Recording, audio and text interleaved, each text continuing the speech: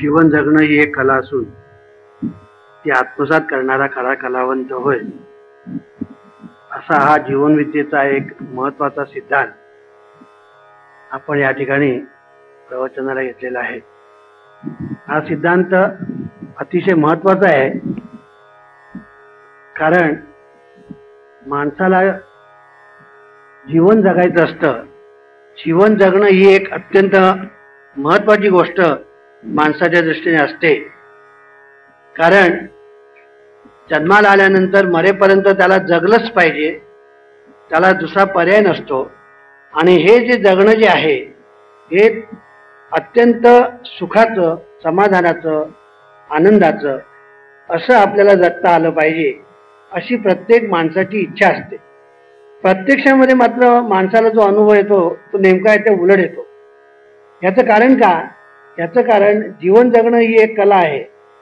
आणि ही कला आत्मसात करून घेतली पाहिजे याची जाणीव माणसाला नसते समाजाला नसते किंबहुना आज जगामध्ये कुठेही पृथ्वीच्या पाठीवर मग ते पाश्चात्य असो अमेरिकन्स असो किंवा आपण इकडले भारतीय असो कोणालाही अशी जाणीव नाही की जीवन जगणं ही एक कला आहे. म्हणून जीवन जगणं ही एक कला आहे हे ज्या वेळेला माणसाला अवगत होईल तेव्हा तो ही कला जोपासण्यासाठी काय केलं पाहिजे याचा विचार करेल. आज माणूस विचार करतो पण तो विचार ज्या तऱ्हेने करतो ज्या पद्धतीने करतो ज्या दिशेने करतो ती पद्धती ती दिशा ही मुळातच चुकलेली असते. आणि दिशाच जर मुळात चुकली तर सगळे श्रम वाया जातात. हे आपल्याला निराळे सांगायला नको. आपण चालायला सुरुवात केल्यानंतर आपण किती चालतो याच्यापेक्षा आपण व्यवस्थित योग्य दिशेने चालतो का याला महत्त्व आहे. आणि जर योग्य दिशेने आपण चालत नसेल म्हणजे मुक्कामाच्या दिशेने चालत नसेल तर आपण जे चालतो ती निवळ पायपीट असते त्याला काही अर्थ नसतो. त्याप्रमाणे आपण जीवन जे जगतो त्या जगण्याला दिशाच नाही. दिशाहीन जगणं आज आपल्या वाट्याला आलेलं आहे. आणि हे दिशाहीन जगणं आपल्या वाट्याला आलेलं असल्यामुळे आपलं जीवन म्हणजे निवड क्षीण म्हणतो आपण तो क्षीण असतो. म्हणून संसारामध्ये रडगाणं आपल्याला दिसून येतं. संसारामध्ये रडगाणं आपल्याला दिसतं. रडगाणं कसं आहे बघा एका मोठ्या विद्वान माणसाने असं म्हटलेलं आहे की जन्म दुःखम जरा दुःखम नित्यम दुःखम पुन्हा पुन्हा. म्हणाले सगळंच दुःख आहे म्हणाले. जन्माला येणं दुःख आहे जन्माला आल्यानंतर दुःख आहे मरताना दुःख आहे आणि जन्म मरणाच्या मध्येही सगळं दुःख भरलेलं आहे. असं त्यांनी म्हटलेलं आहे. तुकाराम महाराजांनी सुद्धा तसंच म्हटलंय संसाराच्या तापे तापलो मी देवा करिता या सेवा कुटुंबाची. सुख पाहता जवा पाडे दुःख पर्वता एवढे. हे सुद्धा रडगाणं आणि आपल्या संतांनी सुद्धा गायलेलं आहे. त्याचप्रमाणे रामदास स्वामींनी सुद्धा एके ठिकाणी असं म्हटलेलं आहे की आपल्याला या संसाराचा आता वीट आला. आपल्याला या संसाराचा आता क्षीण व्हायला लागलेला आहे. अशा तऱ्हेचे त्यांनी त्यांचे एक करुणाष्टक जे आहे त्याच्यामध्ये त्यांनी हा धावा केलेला आहे. हे जे त्यांनी आपल्याला जे दिसून येतं याचं कारण का? याचं कारण जीवन जगणं ही एक कला आहे. याचा शोध म्हणा किंवा याचा बोध म्हणा फार पुरातन काळापासून मानव जातीला झालेला नाही. आणि अजूनही तो झालेला आहे अशातला भाग नाही. जरी जीवनविद्येवर प्रवचन आम्ही जरी करत असलो आणि जीवनविद्येवर लोक प्रवचन ऐकत असली वाचत असली तरी तो बोध झालेला आहे किंवा शोध लागलेला आहे असं म्हणण्याचं कारण नाही. त्याचं कारण का? त्याचं कारण असं आहे की आपण आतापर्यंत ज्या पद्धतीने जीवन जगत आलो ती जीवन जगण्याची जी पद्धत ज्याला आपण इंग्लिशमध्ये सवय म्हण हॅबिट म्हणतो म्हणजे मराठीत सवय म्हणतो ही जी सवय आहे या सवयीमुळे माणसाला ती सवय बदलून दुसरी सवय लावणं कठीण होऊन बसलेलं आहे. कठीण झाले ते एवढंच. बाकी काही कठीण नाही. कठीण झालं ते एवढंच की जी एक सवय आपल्याला होऊन बसलेली आहे पडिले वळणं इंद्रिया सकळा भाव तो निराळा नाही तुझ्या असं जे तुकारामाला म्हणतात की हे एक सवय पडलेली आपल्याला. आणि ही जी सवय पडलेली आहे त्या सवयीच्या वेगळ्या प्रकारची सवय जडवून घेणं हे माणसाला सुरुवातीला कठीण होत. आणि सुरुवातीला जे कठीण वाटतं ते त्याला शेवटपर्यंत कठीण वाटतं. गमत अशी आहे सुरुवातीला त्याला जे कठीण वाटतं ते शेवटपर्यंत कठीण वाटतं. पण सुरुवातीला कठीण असणारच मग पुढे ते सोपं होणार. असं जो म्हणतो आणि प्रयत्न करतो त्याला हळूहळू ते सोपं होत जात. त्याला ते हळूहळू सोपं होत जात. म्हणून ह्याच्यासाठी जीवनविद्येचे सिद्धांत आपल्याला आचरणात आणायला कठीण जातात. त्याचं एकमेव कारण की आपल्याला जडलेल्या सवयी ज्या आहेत त्या सवयी. मी नेहमी सांगत असतो आपल्याला निंदा करण्याची सवय झालेली आहे. कोणाबद्दल आपण चांगलं बोलू शकत नाही. कोणाचं आपण कौतुक करू शकत नाही. कोणाचं आपण वाखाणी करू शकत नाही. कोणाबद्दल चार शब्द बरं बोलू शकत नाही. चार म्हणजे एकत्र जमली की दिवसाबद्दल जो तिकडे हजर नसतो किंवा हजर नसतात त्याच्याबद्दल आणि आपण मग तो जो हजर नाही त्याच्याबद्दल बोलण्याचं मला लायसन कळलं की नाही? तेव्हा अशा तऱ्हेने ही एक जी सवय जडलेली आहे माणसाला ती सवय त्याला सहजासहजी मोडायला कठीण जाते. पण ही सवय मोडल्याशिवाय इलाज नाही हेही तितकंच लक्षात घेतलं पाहिजे. ही सवय मोडल्याशिवाय इलाज नाही हे आपण लक्षात घेतलं पाहिजे. आणि म्हणून ही सवय मोडलीच पाहिजे. सुरुवातीला कठीण वाटेल. पण नंतर ती सोपी होत जाईल. एवढी गोष्ट लक्षामध्ये ठेवली की मग जीवनविद्या आपल्याला आचरणात आणणं कठीण जाणार नाही. म्हणून जीवनविद्येचे हे जे शास्त्र आहे हे शास्त्र अत्यंत महत्वाचं शास्त्र आहे. जीवन जगणं ही एक कला आहे हे एक सांगणारे एक महत्त्वाचा सिद्धांत आणि जीवनविद्या आज सांगून राहिलेली आहे. आणि एकदा मानव जातीला ही गोष्ट कळली की हळूहळू हळूहळू मानवजात त्या दृष्टीने विचार करायला लागेल.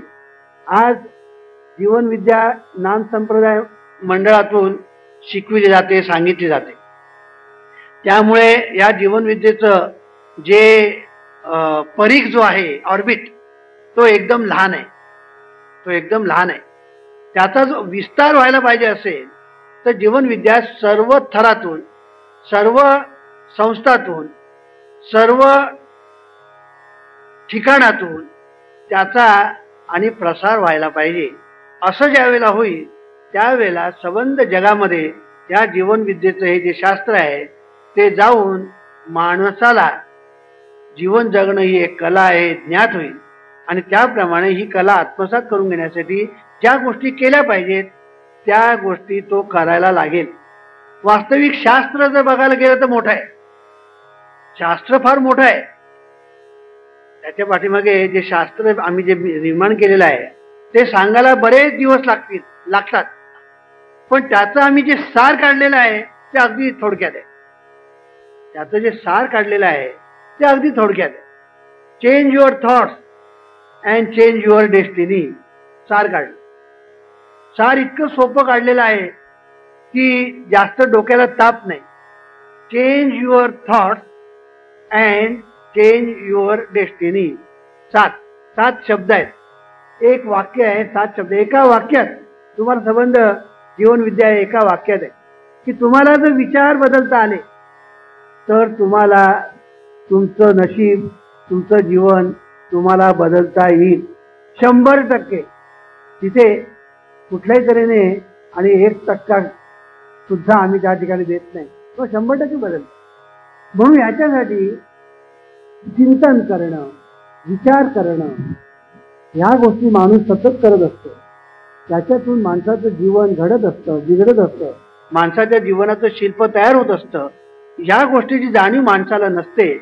आणि म्हणून माणूस विचार करताना विचार करत नाही बोलत असताना विचार करत नाही करत असताना विचार करत नाही. काही बोलतो काही करतो काही विचार करतो. आणि ह्याच्यातून काहीतरी घडतं.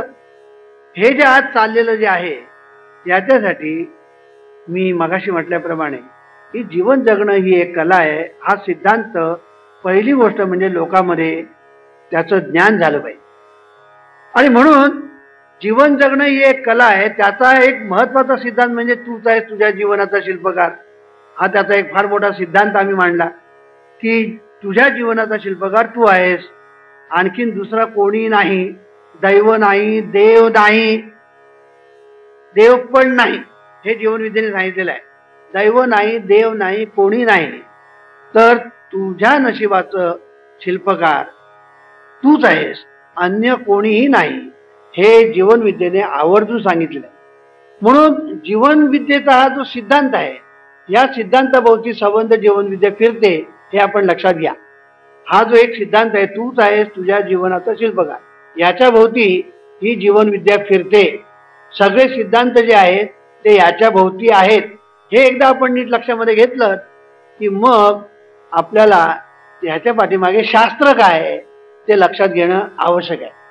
हे शास्त्र लक्षामध्ये आणण्यासाठी येण्यासाठी मी मागल्या खेपेला म्हटलं होतं की पहिलं आपण परमेश्वर हे जे प्रकरण आहे त्याचा विचार केला पाहिजे. आज आपण या ठिकाणी परमेश्वर या विषयावर बोलतो आहोत. आता पण बरीच प्रवचनं परमेश्वर या विषयावर मी केलेली आहेत याच ठिकाणी. कळलं की नाही? तेव्हा परमेश्वर हा जो विषय आहे तो या ठिकाणी मी घेतलेला आहे. त्याचं कारण जीवनविद्येचा पाया परमेश्वर आहे. पहिलं लक्षात ठेवा. जीवनविद्येचा पाया परमेश्वर आहे म्हटल्यानंतर परमेश्वर हे प्रकरण जर समजलं नाही तर जीवनविद्या समजणार नाही. हे पहिलं लक्षात घेतलं पाहिजे.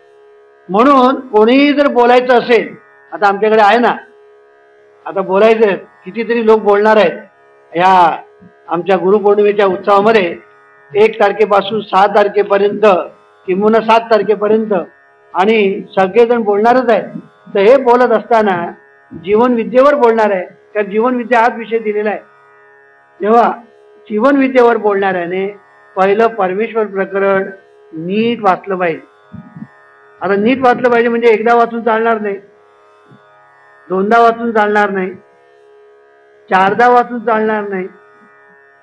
मग किती वेळा वाचायचं? एकशे आठ वेळा. तुम्ही मला एकशे आठ वेळा एकशे आठ वेळा का सांगतो? कळलं की नाही?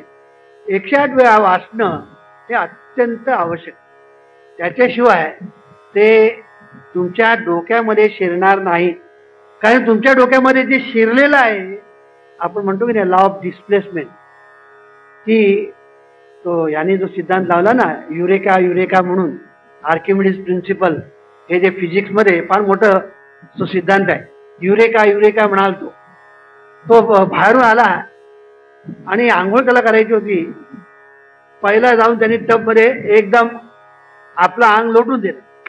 टबमध्ये अंग लोटून दिल्याबरोबर टबमधलं पाणी बाहेर आणि तिथे त्याला साक्षात्कार झाला. देवाचा नाही. देवाचा साक्षात्कार झाला नाही. Eureka eureka. तो म्हणतो मला मिळालं कळलं मला म्हणाले. काय कळलं? लॉ ऑफ डिस्प्लेसमेंट कळला म्हणा की निसर्गाचा जो नियम आहे तो नियम मला आज कळला की माझं वजन जितकं आहे तितकं वजन त्या टबमध्ये गेल्याबरोबर तितक्या वजनाचं पाणी बाहेर आलं.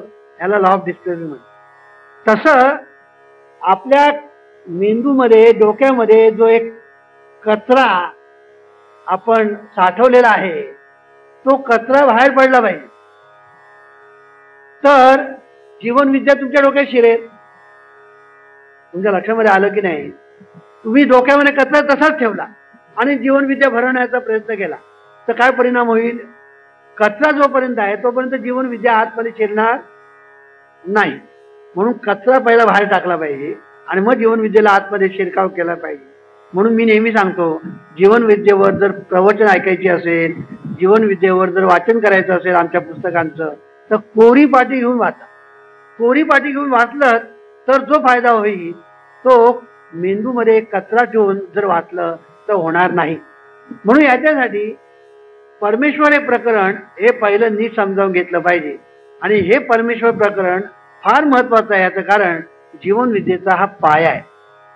हे प्रकरण नीट अभ्यास केल्याशिवाय जीवनविद्येवर बोलता येणार. आता तुम्ही म्हणाल आता गुरुपौर्णिमा जवळ आलेली आम्ही एकशे आठ वेळा कसं वाचणार? तर आता सध्या सोडा. सध्या तुमचा दिवस येईपर्यंत एक तारीख दोन तारीख तीन तारीख येईपर्यंत जितका वेळ वाचता येईल तेवढं वाच. कळलं की नाही? जितका वेळ दररोज सात आठ वेळा वाचा. म्हणजे परमेश्वर प्रकरण एकदा मी समजलं की मग तुमचा पाया भक्कम झाला. पाया एकदा भक्कम झाला ना मग इमारत उभी करायला वेळ लागत नाही. महत्त्वाचा असतो तो पाया. आणि पाया एकदा मजबूत झाला की त्याच्यावरची इमारत तुम्हाला उभी करायला वेळ लागत नाही. आणि जी इमारत तुम्ही उभी कराल ती सुद्धा मजबूत आहे म्हणून परमेश्वर प्रकरण आपण या ठिकाणी पाहण्यासाठी घेतलं. परमेश्वराची आम्ही पहिली व्याख्या केली. कळलं की नाही? आम्ही पहिली परमेश्वराची व्याख्या केली. ती व्याख्या अशी केली की निसर्गाचे नियम आणि त्या अंतर्गत असणारी नैसर्गिक नियंत्रण व्यवस्था दोन्ही मिळून जोतो परमे ही आम्ही पहिली व्याख्या केली. निस परमेश्वराची. आता ही परमेश्वराची व्याख्या पुन्हा एकदा सांगतो. पूर्वी सांगितली आणि आता पुन्हा का सांगतो? कारण नेहमी मंडळी नवीन येत असतात. हे लक्षामध्ये घेऊन मी काही गोष्टी पुन्हा पुन्हा सांगतो. म्हणून काही लोक असं म्हणतात व हे रिपीट का करतात पुन्हा पुन्हा? त्याचं कारण हे असतं. आणि एक लक्षात ठेवायचं की महत्वाची गोष्ट ही पुन्हा पुन्हा सांगावी लागते. म्हणून एका फिलॉसॉफरने असं म्हटलेलं आहे repetition in word or speech is no fault here on the contrary frequent reiteration only shows how momentous the theme is तेव्हा एखादं वाक्य किंवा एखादा सिद्धांत किंवा एखादे गोष्टी पुन्हा पुन्हा जर आम्ही सांगितल्या तर त्याचा अर्थ एवढाच काय फार महत्वाची आहे गोष्ट आहे आपण लक्षात ठेवायची. आणि ती महत्वाची गोष्ट पुन्हा पुन्हा पुन्हा सांगितली की ती डोक्यात जाते. नाहीतर एकदा ऐकून महत्त्वाचे सिद्धांत डोक्यामध्ये जातील असं नाही. काही लोकांचे असे अनुभव आहेत की आज मी जे काही सांगितलेलं आहे ते कळल्यासारखं आज वाटलं. आज वाटलं कळल्यासारखं. पण खरं कळलं असं त्यांना केव्हा कळतं? पाच वर्षांनी त्यांनी स्वतः तोंडाने सांगितलेलं आहे. कळलं की नाही? त्यांनी स्वतः तोंडाने सांगितलं आमच्या पांगमनीच एकदा आम्हाला सांगितलं की पाच वर्षापूर्वी हाच सिद्धांत आम्ही ऐकला होता. त्यावेळेला आम्हाला कळलं असं वाटलं होतं. पण त्यावेळेला कळलं असं आम्हाला जे वाटलं होतं ते कळलेलंच नव्हतं. ते खरं कळलं आम्हाला पाच वर्षानंतर ज्या वेळेला डोक्यात प्रकाश ट्यूबलाईट पेटली प्रकाश पडला त्यावेळेला पाच वर्षानंतर तो सिद्धांत आम्हाला खरा कळला. मी काय सांगतोय की ही मी पुन्हा पुन्हा पुन्हा पुन्हा काय काय गोष्टी ज्या सांगतो त्याचं कारण सुद्धा एक नवीन माणसं येतात हा एक भाग. आणि जुनी माणसं जी ऐकतात त्यांना सुद्धा आपण एकदा ऐकल्यानंतर समजलं या भ्रमात राहू नये. म्हणून निसर्गाचे नियम आणि त्या अंतर्गत असणारी नैसर्गिक नियंत्रण व्यवस्था. दोन्ही मिळून जो तो परमेश्वर असा हा परमेश्वर कसा आहे त्याचं वर्णन मी एकदा केलं होतं या ठिकाणी. तो अनंत स्वरूप आहे असं मी त्याचं वर्णन केलं. अनंत किती अंगाने? सर्व अंगाने तो अनंत स्वरूप आहे. प्रत्येक अंगाने तो अनंत स्वरूप आहे. त्याचे अंग किती आहे? तुम्ही जितकी त्याला तपासाल तेवढी त्याचे अंग आहे. म्हणून त्याला अनंत असं म्हटलेलं आहे. अनंताला अनंत भगवंताला अनंत देवाला अनंत परमेश्वराला अनंत हे जे नाव दिलेलं आहे ते मोठं मार्मिक अत्यंत ॲप्रोप्रिएट असं हे जे नाव दिलेलं आहे. म्हणून परमेश्वराचं स्वरूप अनंत आहे. त्याचे गुण अनंत आहे. त्याची निर्मिती अनंत आहे त्याची शक्ती अनंत आहे त्याचं सामर्थ्य अनंत आहे त्याचं ज्ञान अनंत आहे त्याचा आनंद अनंत आहे त्याचं सर्वच अनंत आहे. त्याचं सर्व अनंत आहे. आणि असा हा जो अनंत असा हा जो परमेश्वर तो परमेश्वर अनंत स्वरूप असल्यामुळे आतापर्यंत त्याचा अंतच कोणाला लागलेला नाही. आतापर्यंत त्याचा अंतच कोणाला लागलेला नाही. आणि याच्यापुढे कोणाला लागणार? हा जीवनविद्येने मांडलेला महत्त्वाचा असेल आतापर्यंत कोणाला त्याचं अनंत स्वरूप कळलेलं नाही. आणि याच्यापुढे ते अनंत स्वरूप कोणालाही कळणं कदापि शक्य नाही.